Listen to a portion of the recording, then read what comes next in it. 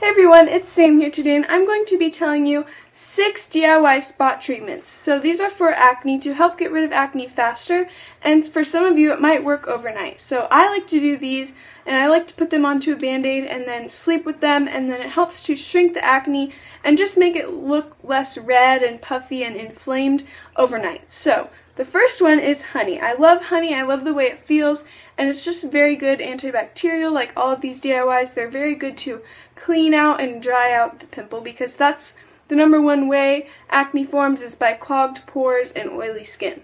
So the second one is aloe vera gel. You can use it straight from the plant or the bottle. I like using the plant because I have one, but if you can't, that's okay. And once again, I put it onto a band-aid and then put it onto the acne. And aloe vera gel feels really great because it's really cooling and soothing. So if it really hurts, if it's like a really big painful pimple, then it feels really good onto that.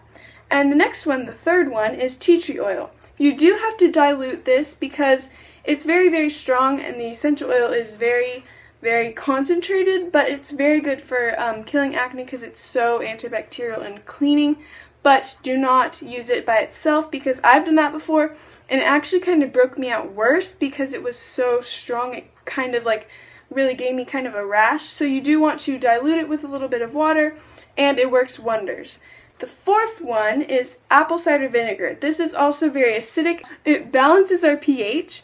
So yeah, that's also a plus and it's just acidic and all acidic things are good for only acne, just specific pimple because it is very, very cleaning and drying to it and the point of getting rid of acne is to dry it out, but you don't want to use this all over your face just plain. You want to dilute it a little bit and then the next one is toothpaste. You've probably heard this one. It's not super recommended because it's toothpaste, it's not for your face, but it is actually good to dry it out because it is cleaning once again. And a lot of um, toothpastes have baking soda in it, and baking soda is also good for acne. And then the last and final one, I believe, is you can use a face mask. So for me, I have a Lush face mask, and sometimes I use that as a spot treatment because it's good for overall acne, so it's good as a spot treatment. The whole point of a spot treatment, in my opinion, is something that you put in one spot and that you let it sit for a longer time than you would like a face mask or a moisturizer or something.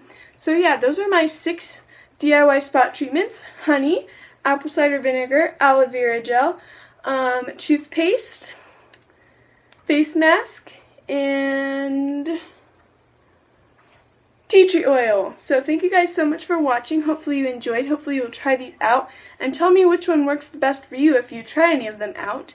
And tell me in the comments below. And make sure you subscribe. I have lots of DIY videos that are related to this. And I also have lots of actual DIYs that are like craft stuff. So make sure to check it all down below. And make sure to like and subscribe. And thank you for watching. See you soon. Bye. And it actually balances our P... P... No.